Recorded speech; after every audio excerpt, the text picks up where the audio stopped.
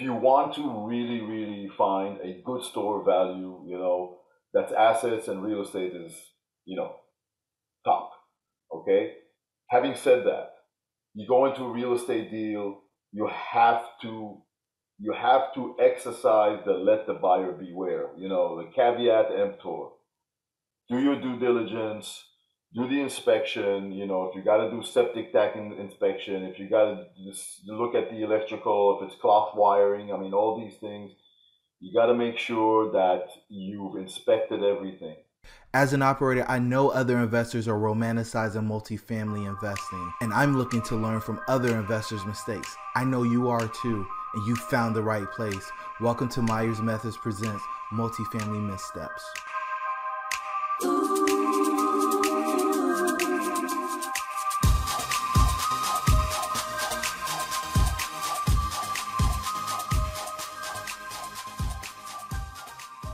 Hey everybody, and welcome to Multifamily Missteps. I'm your host Jerome, and I have Ayal Joshua with me today. How are things down in Florida, my brother? Oh man, it's a sunny day today, you know. Isn't it always sunny in Florida? Come on. Well, not always, but today it's really sunny. It's a nice day. Uh, good to be out. Wow. So this is your first podcast episode. I'm so grateful to have the opportunity to do this with you, man. What what is your background? Let's give the listeners a little bit about how you got into multifamily investing. Well, actually, you know, I'm I'm I'm an engineer by profession, if you will, electrical engineer. You know, I spent a lot of time with uh, with television engineering, uh, with um, with uh, what's it called OTT, you know, over the top video. But um, I started my multifamily or my my real estate career back about what 15 years ago. Purchased a couple of condos and uh, progressed from that to uh, fourplexes, and uh, now I even have a seven unit building as well. Wow. Okay. So all local, like in your backyard, or all local? Yeah. So what? Some people are like, man, why would you ever invest in your own backyard? Why do you want to invest close to where you are? Uh, first of all, because I want to be close to where my assets are. That's the first thing. Uh, the other thing is, I decided, or we, I mean, my wife and I are partners in this, uh, we decided to uh, self manage. So, um, and you know, uh, property management is great, and if you can get a, a, a, property manager, it's wonderful. Of course, you know, then you're completely passive. But uh, we wanted to get into the management also to kind of uh, you know enlarge our margins. But uh, also, it's it's it's good to understand how property management management works. So that's what we did. Okay, and so you manage the property still, or? Oh yeah, yes. A lot of work. Without question. Okay, so so a lot of people feel like they just buy the deal, throw the keys over the fence, and it's done. They don't have to worry about anything. As the property manager for your own portfolio, you get to see all of the good, the bad, and the ugly. Oh, so oh. I'm assuming that all of your deals haven't gone perfectly. Oh no, not at all. Not okay. at all. Because because because in the long term, it's it's it's great to have real estate assets, especially today with all the inflation. You know, Roger no that. better store of value. Roger that. So, I mean, if for the listeners out there, they're wondering, well, what what what should I know? What mistakes have you made that I should never make? And so what do you got from any of these deals? And even as an operator of the property yourself, man, I can't believe you self-manage yours, brave man. Um, you know what? It all starts when when you're purchasing the property. It all starts with your due diligence. You know, and uh, you go into your due diligence period, and you've got the inspection coming in. And they inspect electrical and the roof and the plumbing and all that kind of stuff um, it's kind of uh, a bit of a problem with plumbing, for instance, uh, especially with older properties. Uh, some of these properties have cast iron pipes, which is, you know, if you don't know how to deal with that, that's a problem. Um, the other thing is you've got you got some properties that have uh, that, that are not connected to the city sewer, so they have septic tanks, and many people don't do the septic tank inspection. Sometimes that's critical. So, so did you find out the hard way that septic tank inspections are important? Oh yeah. So you know, I bought a fourplex, fourplex in uh, Hollywood, which is you know where kind of where I live, Hollywood, Florida. Um, and uh, the building, it, it, was actually four separate units, and there were two septic tanks over there. And we knew that this was this, there were septic tanks. We brought the inspection inspector in, and you know they inspect the pipes, they inspect the electrical, everything is fine, everything is good. Uh, they found problems, of course. Um, and I said, boy, do I need to inspect the septic tanks? And, you know, I was told, well, you know, they're okay. You don't have to really do anything with them. They just sit there. Uh, we purchased the property, and boy, was I wrong. because right away we had problems. So, so, what what is what is so they inspected the pipes inside of the actual units, but they didn't go all the way out to the septic. And and, and so, you know, mm-hmm, go ahead. Would would they like dig up the septic field and do it out there, or do they just run something through the pipe from inside the house? Like how how does this actually get checked oh, out? Okay. How do, yeah, so so so what you do is you can order a separate septic inspection. You know, it costs you more money. And then what I believe they do is they yeah, they run a camera through the drain pipe, but they may also um, go look for the septic tank, which, you know, there's a technique of doing that. You kind of go poke holes and then you find the septic tank and then you actually open it up and you look and you see if it's overloaded, over, you know, overflowing, if there's a problem. And then there's, there's one component about a septic tank which many people don't know about, and that's what's called a drain field. And the drain field is where all the water kind of drains out and, you know, the chemicals uh, they uh, make all the you know the bad stuff disintegrate, but you still got to drain all the water. And if the drain field is no good, the water just stays in the tank, and that causes issues. Ouch. Yes. So, what did it cost to get this fixed? Okay, so like I said, we had we had there were four freestanding units in this fourplex, two septic tanks servicing you know two units. What we had to do was oh no, I'm sorry, I'm sorry. One of the one of the two units had separate septic tanks.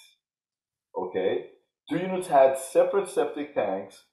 Uh, one of the tanks uh, they went in after we purchased. They inspected the tank. They said, you know, your tank is bad. Your drain field is gone. Okay, how much would it cost to uh, to put to put in a new drain field?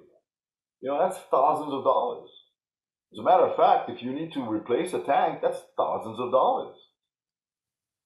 So what they did was, hey, let's look at the other septic tank. Let's see if it has enough capacity for the two units.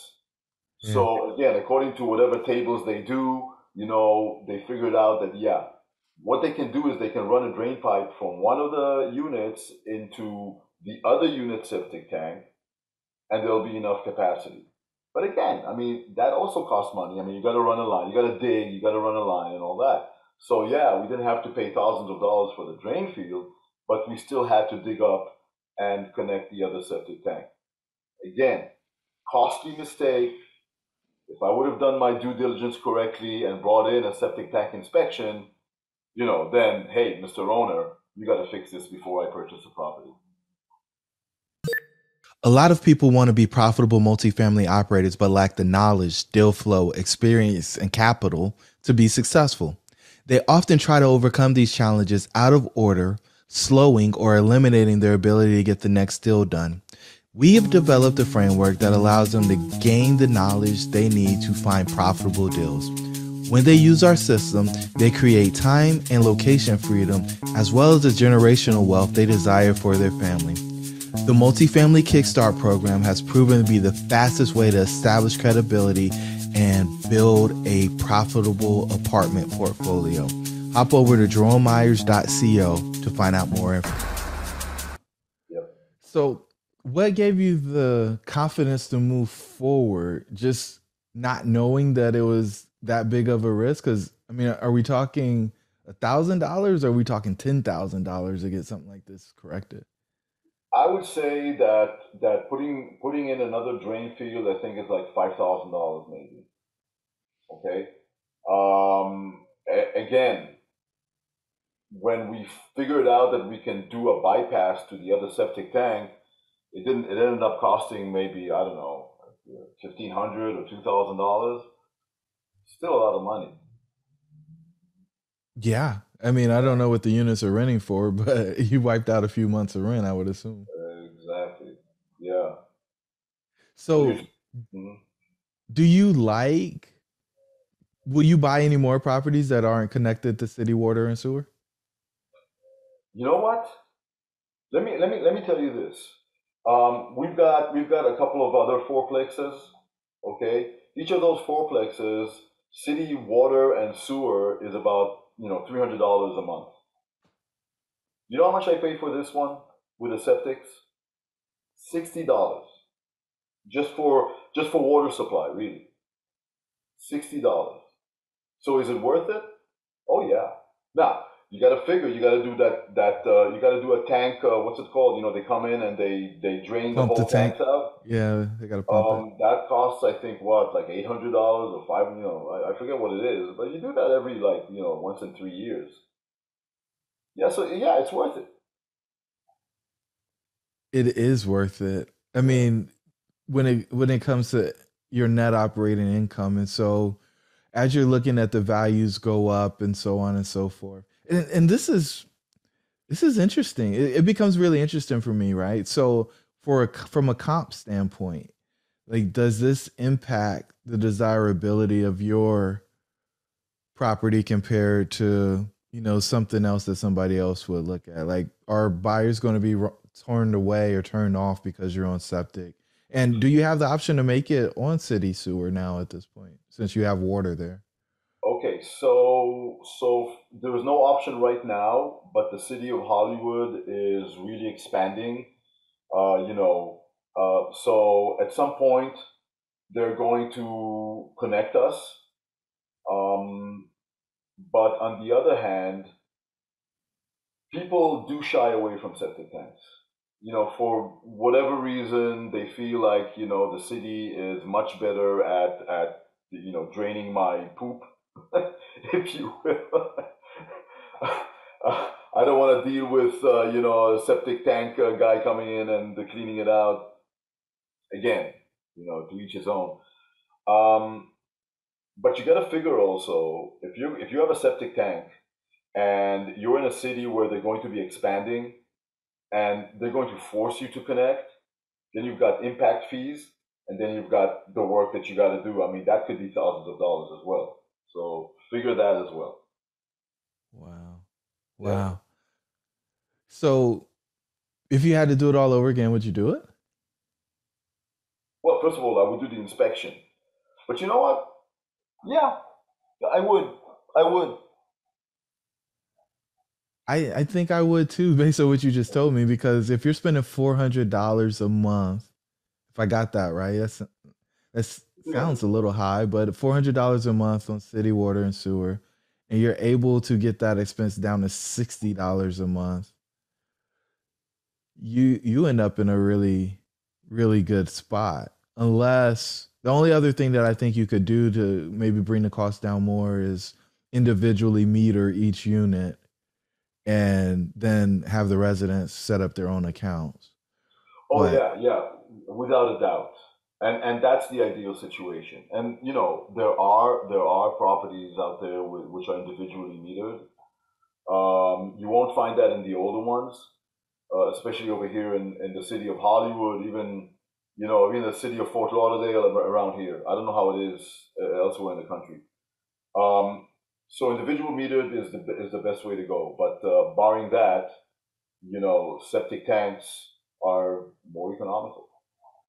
Without a shadow of a doubt. Yeah. The uh I think it depends on who builds it, right? If a investor is the builder of the property, they're going to individually meter it because they know what the long-term impact to income is not having to pay those utilities if a builder builds it, they're going to do what's cheapest for them so they can make the most profit they can make on the exit. So oh, yeah. that that is what I've seen, and I've seen it done both ways. I've actually got two quads that sit next to each other on a contiguous lot, uh-huh. and they all they have one meter into all eight. So I have to pay water for all of them because in North Carolina you can't do the RUBS, the ratio utility billing system. Yeah, I was going to ask you. Yeah. So unless we separately meter our stuff, we, we got to pay it. And, you know, it, for us, it's a whole lot cheaper than what you described. We're at about $40 per unit per month, maybe 50 oh. on a bad month. So, you know, those those costs seem a little rich. I, I don't know what's going on with the flappers in the toilet or if uh-huh. any faucets are dripping, but you might want to go in and see if there's any leaks or you know, open pieces in your system so you can get that four hundred dollars down. But water may just be more expensive down there. The um, no, you, you bring up a, a great point about about the flappers and about you know shower heads and all that, and that's that's on my list as, uh, as a matter of fact to go in and start analyzing. Yeah, yeah, yeah. So I mean, this is this right here just makes me grin, man. You're the first person I've talked to that had a property that's multifamily with septic. You know, I, I had a country house at one point and we had a septic. And when we exited that deal in 2021, they made us do an inspection of the septic system before the new owner could buy it. It was a requirement of the transaction. So this is really cool to see it come full circle and see that somebody could actually get tripped up by something like that because it's not a requirement. Yeah, yeah. Better watch out, you know. Man. Well, I always like to ask one final question on these podcasts, and, and the question is, what's the words of wisdom that you have for our listeners? They're out here, they're fighting the good fight. They're trying to make a positive impact on the community and put a little bit of money in their pocket. You know, first of all, if if if you want to really really find a good store value, you know, that's assets and real estate is, you know, top. Okay? Having said that, you go into a real estate deal, you have to you have to exercise the let the buyer beware, you know, the caveat emptor. Do your due diligence, do the inspection. You know, if you got to do septic tank inspection, if you got to look at the electrical, if it's cloth wiring, I mean, all these things, you got to make sure that you've inspected everything. You know, get a get a get a roofing inspector. You know, get people, especially in the in the bigger you know properties, the the ten units, the fifteen units. You know, uh, and, and over and over. So you got to get all these experts in to inspect the property correctly. Um, but then, you know, go ahead and do it. You know, don't sit there. Go ahead and do it. so what you're saying is get wise counsel from experts so that you know that you're in a good position when you're taking possession of the property and take action, right? Oh, yeah. Buy real estate and wait. No, yeah, and and don't wait for markets to tank or to go up or to go down. You know, just find the right deal and go for it. Wow. Wow. So I, that was supposed to be the last question, but I can't resist. How do you know if the deal is right? You know, if you're you're looking for your next deal, what what do you want? How do you know it's the right deal? you got to look at the numbers. You know, you, you got to look at uh, at at uh, especially for me. I mean, I look on cash. I, I look for cash flow. So you got to look at your cash on cash returns. Um, you got to make sure that the deal is in in a good class building in a you know okay class area. All right, I you know I do affordable housing. I think that uh, you know we need to offer people, all people, a good place to rent. You know where they're not spending all their money. Um, but uh, you, you, you got to be able to know to you know which area you're going to uh, to purchase. The numbers look right. Um, you know, maybe the first year it's going to be a little bit, you know, you know, wanky, but then at some point you're gonna you, you're gonna make good. You're gonna make good for yourself. You're gonna make good for the people that you're renting to. I'm so glad I asked this question because you're a man after my own heart. I think everybody deserves a quality, safe place to live, and Absolutely. a lot of times it's more lure. It's it's more interesting to go serve wealthy people or people who can pay a higher price, but the fact of the matter is the people who actually make the world go round are those folks who are living in you know that workforce housing. So brother i'm so grateful to meet your acquaintance and have somebody else down there in south florida who i can call when i'm down there trying to catch some rays on a nice sunny day in the middle of winter.